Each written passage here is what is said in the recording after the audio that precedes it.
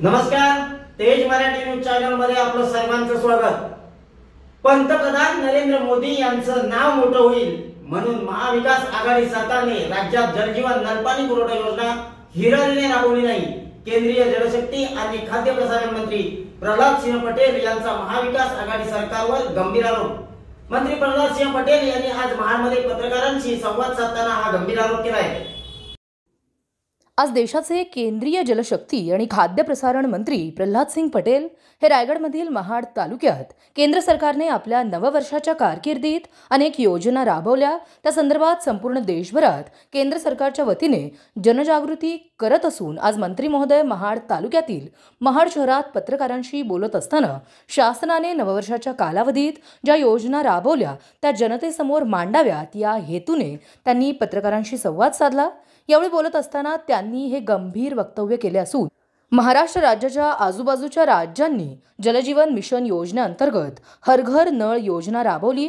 मात्र महाराष्ट्रात महाविकास आघाडीचे सरकार सत्तेवर होते त्यांनी ही योजना पंतप्रधान नरेंद्र मोदी यांचे नाव होईल म्हणून ही राबवली नाही असा आरोप केला. यावेळी बोलत असताना मंत्री प्रल्हाद सिंग पटेल यांनी केंद्र सरकारच्या विविध योजनांची चित्रफीत देखील सादर केली. Bureau report Tej Marathi news Mahad. Raigarh. दुनिया का बाज़ार और दुनिया की मांग दोनों को पूरा करने का सामर्थ्य अगर किसी में है तो वो भारत में है।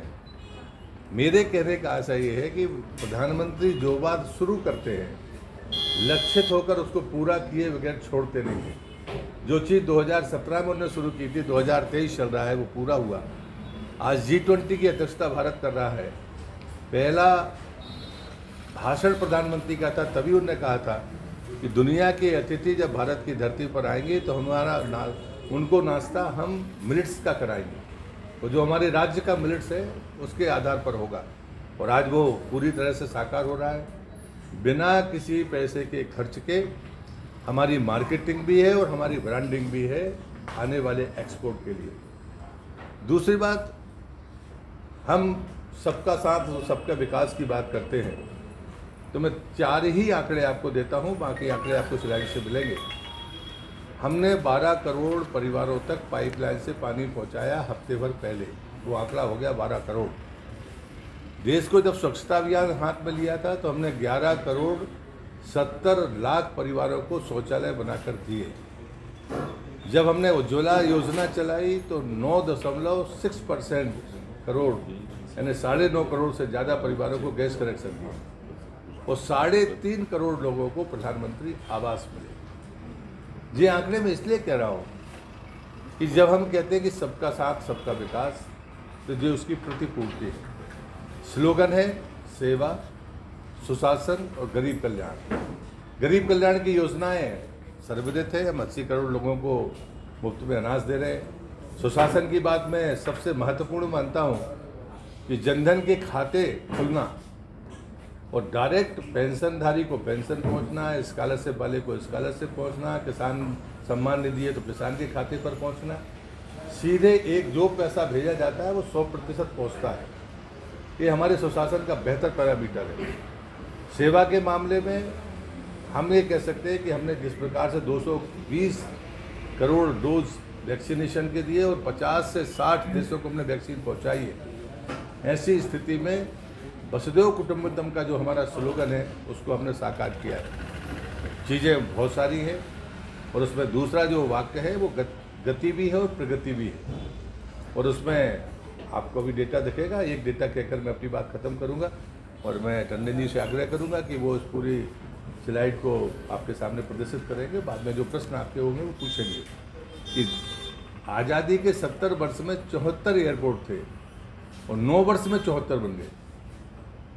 मतलब एक ही उदाहरण है, ऐसे आपको बहुत उदाहरण इसमें मिलेंगे। तो गति भी है और प्रगति भी है। तो मोदी सरकार के ये नौ साल का रिपोर्ट कार्ड आपके माध्यम से देश के सामने देने का हमने कोशिश की है। महाराष्ट्र, जिसके पास में उनतालीस प्रतिशत परिवारों को वो पाइपलाइन के द्वारा पानी दे रहा था। लेकिन अभी भी वो हंड्रेड परसेंट नहीं पहुँच पाया। जो सेवन परसेंट पर थे, उनने अपना टारगेट अचीव कर लिया।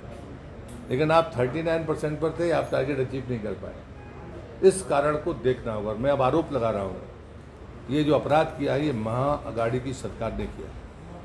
कि जल जीवन मिशन में प्रधानमंत्री मोदी का नाम आएगा, इसलिए इस स्कीम को यहाँ पर ऑन नहीं किया गया। आप चाहें तो आपने उठाकर देख सकते हैं। जैसे ही सरकार बदली तो अभी जो सरकार चल रही है, इसने डीपीआर बनाना शुरू किया। तो मैंने आपको पिछली बार भी कहा था कि डीपीआर में ये कमियाँ हो सकती हैं सोर्स की आपके साइट की। मेरा आपसे निवेदन ये ज़रूर होगा कि क्योंकि हर चीज़ तो भारत सरकार नहीं करती हम थर्ड पार्टी असेसमेंट करते हैं। क्वालिटी कंट्रोल पर हमारी नज़र होती है। लेकिन यदि आप सोर्स के मामले में या साइट के मामले में यदि आपको ये लगता है कि हमें अ, कोई सुझाव देना पर स्पष्ट अगर बताएँगे कि ये सोर्स ने गलत चयन किया है मैं आपको दावा करता मतलब विश्वास दिलाता हूँ immediate